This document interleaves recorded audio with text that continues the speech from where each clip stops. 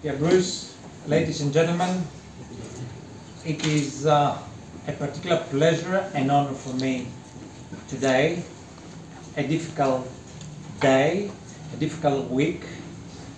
Uh, we're planning on having this function uh, with uh, more people and uh, with more glamour, but because uh, of the mourning that we observe in, in the country, uh, I discussed it uh, with Bruce and uh, we decided to, to go on with the, with the event, with the function, but um, we wanted to, to keep it uh, in a lower profile, in a lower key. Uh, it, as I said, it's uh, a particular moment for me. I mean, some months ago, one day I received the book I opened the envelope and it was uh, a book about uh, Athens. And uh, I, it was sent to me by uh, Bruce Clark. I knew Bruce Clark, I had read uh, about him, I read uh, of him, but I thought that it was a new book. I was very busy those days and I didn't open the book, I didn't read the book, I left it on this table it was the time that uh, we had um, a high-ranking uh, delegation from Greece, and the head of the delegation, he was sitting uh, there. We were receiving uh, uh, British politicians uh, and dignitaries, and we negotiated a few different things. And between uh, appointments, he said to me, where did you find this book? I know Bruce, he's uh, very important for Greece. Uh, we have, uh, he has written a lot about Greece. Uh, he's a particular person. And uh, I said, you can have the book if you want. he opened the book and uh, he realized it was dedicated to me. said no, I won't take it. The person was the Prime Minister, Mr. Mitsotakis. so what I did, I called uh, Bruce, I said, it's, uh, I am uh, so and so, and I had an accident a few days ago. you know, the book, I didn't read the book, but somebody else read the book. So, do you mind send me uh, a copy uh, to, to give to the Prime Minister? And uh, we discussed a little bit, and we decided to have two, two copies and I gave the other one to the person that is responsible for the city of Athens, the mayor of the city of Athens, Mr. Bakoyannis. So they both received um, the, the book, they read it before me, and they were making comments to me about uh, the book, and I'm very happy that today we all are here to honor uh, Bruce. Bruce, uh, I'm not going to say uh, much about Bruce uh, because uh, you know him longer than me, you know him better than me. But he's somebody that represents um, a very important figure for Greece in this country. Bruce, he spent um, uh, a lot of time since his youth in Greece. He speaks Greek, to my to my surprise, uh, very good Greek, and uh, he even uh, uses some uh, words that uh, modern Greeks uh, find hard to understand. he's um, uh, a scholar of the of the Greek language, and uh, but uh, what I find fascinating about Bruce is that he, he believes uh, from the deep of his heart, as he told me, uh, on a topic that is very important for us, the return of the Parthenon uh, sculptures. And uh, he's an advocate, uh, he writes articles about that, and whenever we ask his opinion, what to do, how to do uh, about the sculptures, he's, he's there, supportive. And last but not least, uh, um, he was honored. It's a very great honor for, for everybody to be honored by the uh, Orthodox uh, Church. Uh, Your Eminence, uh, you told me first, and Bruce um, confirmed it, that back in about four years ago, 2018, uh, Bruce was uh, became archon of the Greek Orthodox Church of the Patriarchate in uh, Constantinople. He's archon. Uh, yes, archon translator, and that's another honor, another particular honor. Uh, having all this in mind, uh, I spoke with the the office of the President of the Republic and I said uh, I would like to propose that uh, as uh, an expression of gratitude and recognition to, to Bruce, our country, that we don't do that uh, very often. We have uh, to honor his uh, services to, to the country and give him, decorate, decorate him as soon as the, the idea went to the President of the Republic, uh, the, the response was uh, positive. And that's uh, why we're here tonight. Bruce, I have uh, the, the great honor to present to you the Gold Cross of the Order of the Phoenix.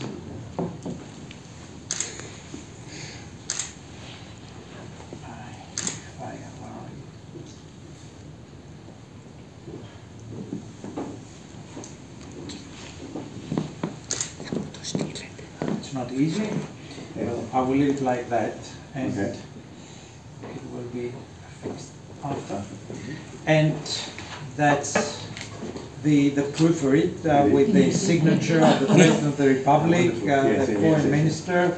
Oh, that's marvelous. Yes, yes. A wonderful. Gosh. Okay. Yes, yes, yes. Well, absolute.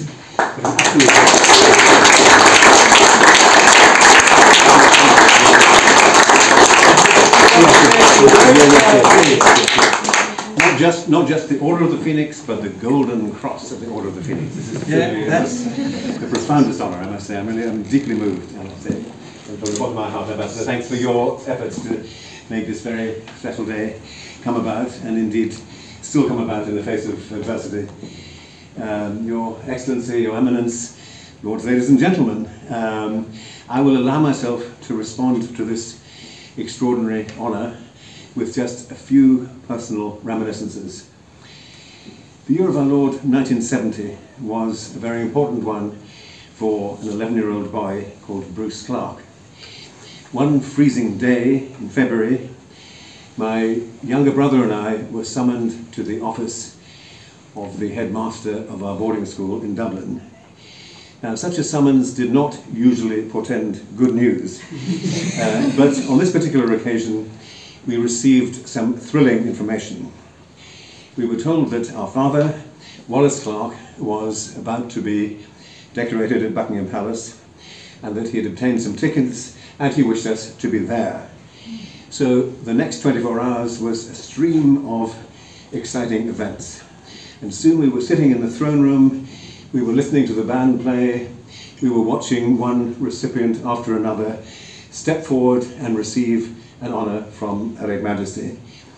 And thus Wallace Clark became an ordinary member of the Order of the British Empire, an honour which had been conferred on his father and his grandfather.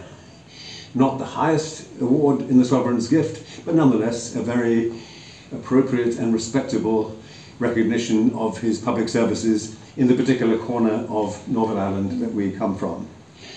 Now, it seems very unlikely, vanishingly unlikely, that I will ever follow my forebears down that particular red carpet.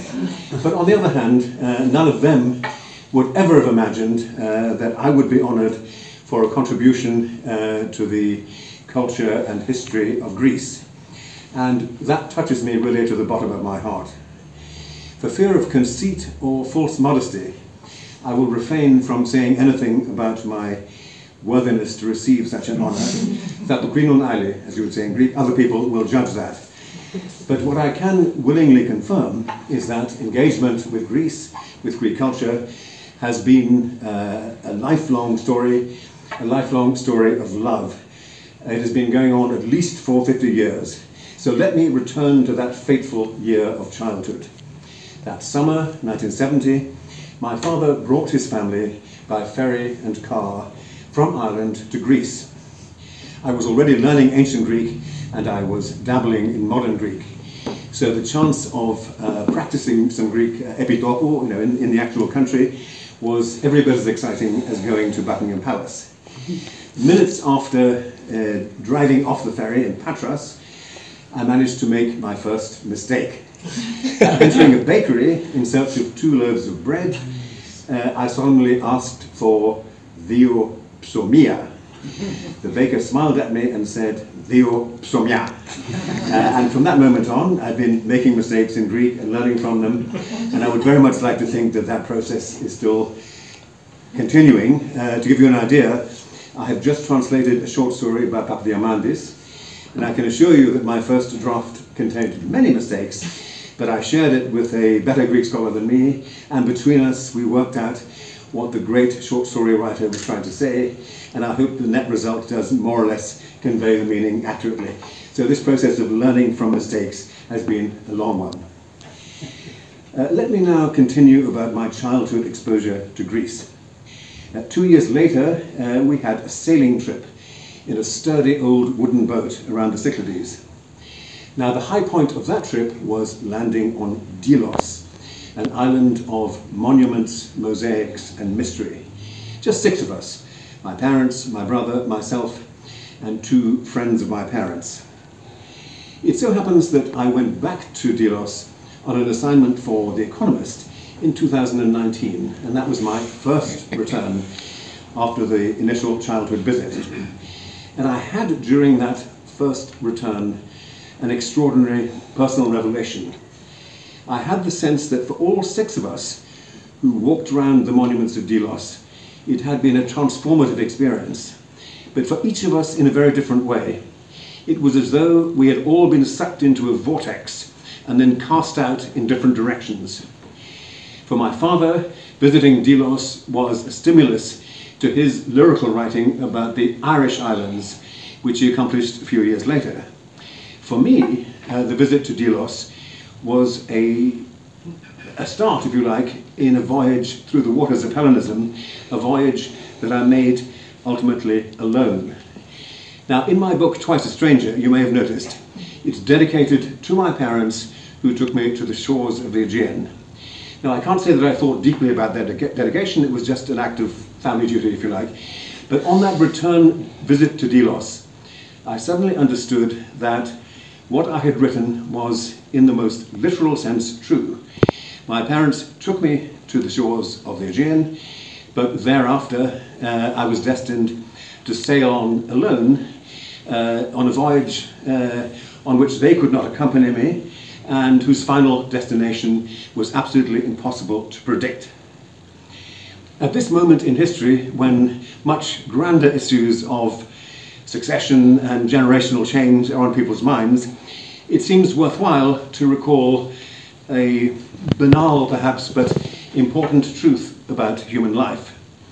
Our guardians, our mentors, who may or may not be our blood parents, do take us to the water's edge, and that's a reason to be very grateful. But then we have to make a voyage alone. They cannot predict the destination, they cannot guide the destination, and we shouldn't expect them to. People asking me now whether I have gained, after 50 years, any new insights into the history of Hellenism as a result of writing my latest book, which is called Athens, City of Wisdom. Before I answer that question, I'd like to digress for a moment and welcome some old and new friends to this room. When I lived in Greece for six months as a 17-year-old, as a penniless 17-year-old, my closest friend was a medical student from Ethiopia. At that time, uh, Greece was giving a lot of scholarships to Ethiopia because of the common Eastern Christian links. Uh, and I formed a close bond with an Ethiopian student called Thomas Belay, and I remember vividly how he and his beautiful Greek girlfriend used to have debates long into the night about the finer points of the dictatorship of the proletariat. uh, uh, also joining us tonight is a person from another holy island, um, even holier than Delos perhaps, the island of Patmos. Now, Patmos, as you know, has been ground zero for a global environmental spiritual movement. And that is thanks to two patriarchs, uh, Patriarch Demetrios and subsequently Patriarch Bartholomeos. Now, with us tonight is a friend called Jean Knights, who is translating some of that lofty environmental spiritual theory into practice by running a charity on the island uh, called Charis, which aims to restore the biodiversity, um, the water table, traditional farming methods. In other words, uh, is aiming to restore the ecosystem of the island itself. And there's, there's wisdom there, because it's all very well proclaiming great environmental spiritual messages in a particular island, but uh, it has to start at home somehow, that wisdom. And thanks to Jean, uh, some very good and practical work is being done.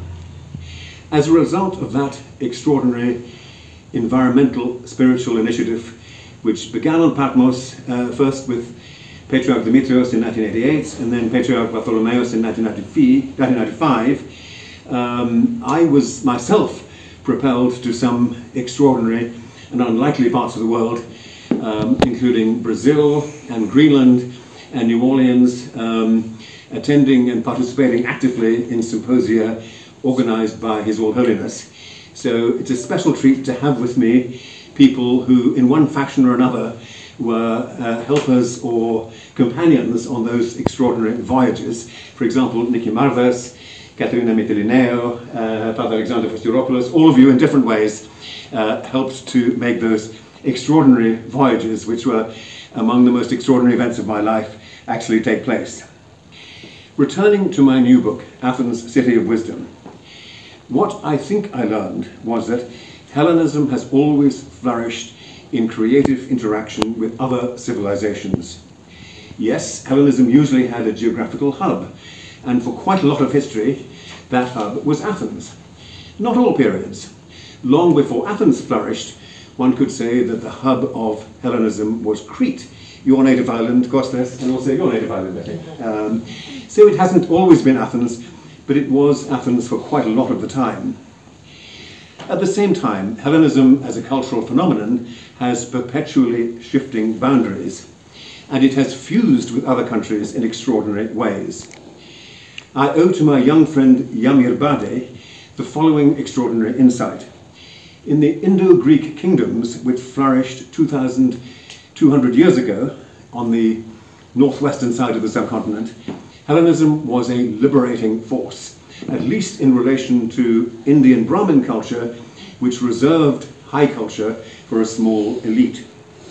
As Yamir has shown, those Indo-Greek realms were open not only to the Hellenistic world, but also to Persian culture, and as he has argued, you can sense that openness, that freedom, uh, both in the Gandhara sculptures and also in snatches of poetry that were written by Indians, but Indians who were extremely well versed, as Yamir is, in Greek literature. But the question always is, on what terms does Hellenism interact with other cultures? In the 18th century, uh, the elite, the powerful people of Northern Europe, developed a kind of obsession with Hellenism. They longed, in some sense or other, to capture that civilization for themselves. At first, they made meticulous drawings of ancient monuments in the hope that those perfect, those perfect proportions could be copied in their own countries and confer on their own chilly streets some of that Hellenic majesty and stardust, if you like. But unfortunately, from capturing the Greek genius through drawings and mouldings to physically grabbing the products of that genius turned out to be rather a small step. In the year of 1788, a young French antiquarian received the instruction from his, from his aristocratic boss that he must extract everything he could from the soil of the Acropolis and take it away. Fouiller, fouiller, fouiller. From that moment on, there was an unseemly Anglo-French race in progress to remove and ship northwards as much as possible of the physical patrimony of Hellenism. Into this feverish contest, there stepped a brilliant, quixotic, perhaps rather arrogant personality of noble Anglo-Scots lineage, a product of Harrow School. Now, I refer not to Lord E, but Lord B in this case. Um, uh, I refer to Lord Byron, of course. Um, now, it so happens we're joined tonight with Ioannis Koundis, who is a scholar of Byron and his era. That's another person to welcome warmly. Arriving in the winter of 1810-1811 in the Ottoman town of Athens, Byron sensed an immediate connection with the world of Socrates and Plato, an immediate distaste for a certain school of antiquarianism, what he called antiquarian twaddle, uh, which thought that objects and styles could simply be transferred uh, northwards, um, completely detached from their original environment, um, with no uh, loss of integrity of those objects and, and styles. We probably all know uh, the most famous lines of Byron about Greece. Uh, they reflect his intoxication with the beauty of Attica, with the mountains, with the seas. Um, uh, the mountains look on Marathon, Marathon looks on the sea, and there I dreamt an hour alone that Greece might still be free. The question is, free to do what exactly? Free to do what? Well, I would say free to press on with the task of perpetually defining, redefining Hellenism, which will never be an easy task, uh, not under the diktat of others, but in creative, uh, unforced, free collaboration and synergy with other cultures. And as long as that collaboration is free and unforced, then I think uh, the results will be rich and wonderful and surprising. It, what, I think what Byron sensed is that the process of defining what it means to be Greek, which is a, a question perpetually open, uh, has to be undertaken by people, among others, among others, by people who in some sense or other themselves identify as Greek, who are prepared to take the risks of being Greek. Now, Greekness can mean, you know, by virtue of, of, birth or family origin, or simply, as, you know, as Socrates said, 2,300 years ago by virtue of education and culture and choice. Uh, there are many ways of being Greek. But in some sense or other, the task of defining Greekness, always in rich dialogue with others, uh, has to be undertaken by those who are prepared to take the risk, so to speak, of entering the vortex without having the slightest idea of uh, where they will emerge from that vortex. And I think that was very well understood by many of the great Anglophone Philhellenes of the 20th century. Peter Levi, Kevin Andrews, Louis MacNeice, Philip Sherrard, Olivia Manning, Rose Macaulay, Marion Pascoe, Alison Frantz, Joan Connelly, Sofka Zinovieff. And equally well by great Irish writers about Greece, people like uh, Seamus Heaney, Theo Dorgan, who wrote in a mixture of English and Irish about that country anybody who purports to understand Greece or to contribute to the Greek process of self-understanding has to be willing to enter the vortex without knowing what the final destination will be. 50 years after walking into that Peloponnesian bakery, I still have not the slightest idea what my final destination will be, and I feel in no hurry to find out. what I am conscious of is that my companions on that search uh, become more and more numerous, some have been lost to another world, but new ones are joining all the time. Uh, and it's a, sort, a search that has defined my life and uh, continues to give me great joy. Now, as, as, as, as, a final offering for this evening, I thought I should read a snatch of poetry, uh, of, of, modern Greek poetry.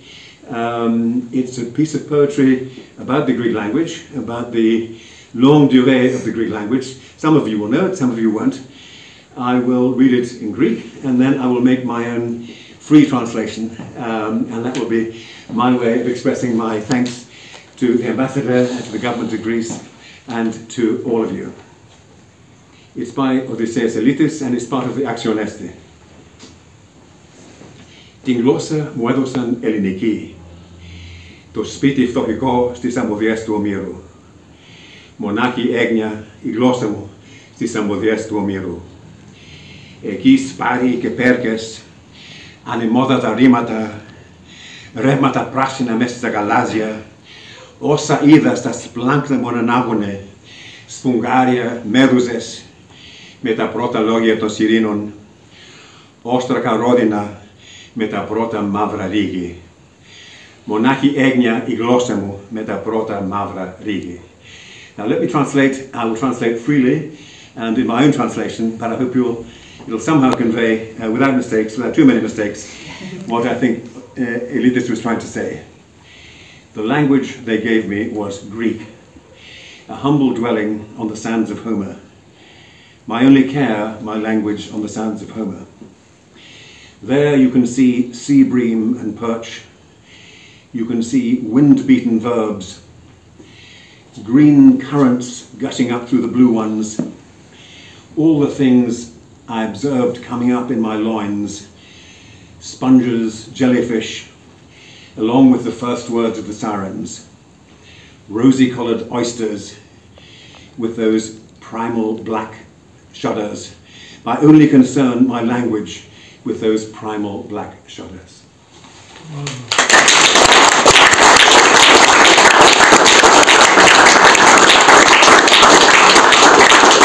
It would be an omission for me not to invite uh, the Archbishop uh, Nikitas to say a few words, given the, the connection Bruce uh, has with the patriarchate, with the, the religion.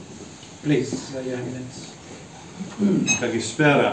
Good evening to all. I'll be very short and brief.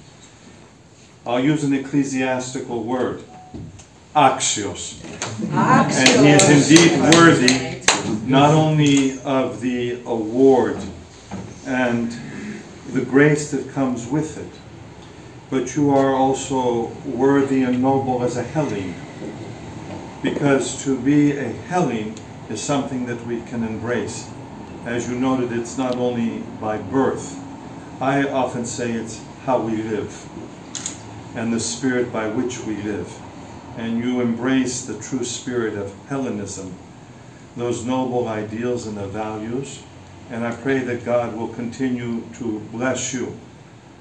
So you will not only write and speak about the glory that was Greece and is Greece, but also the truths, the values, the principles of the patriarchate, of the Orthodox world, and the values which each of us try to live.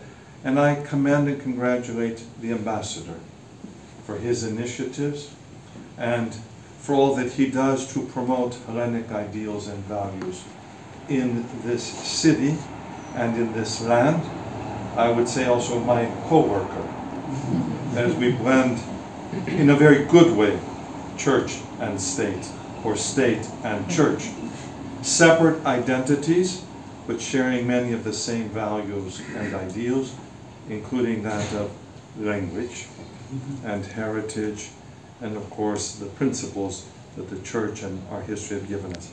Again, congratulations from His All Holiness, Axios, and I look forward to having you here when the Patriarch is here in October. Ευχαριστώ κύριε.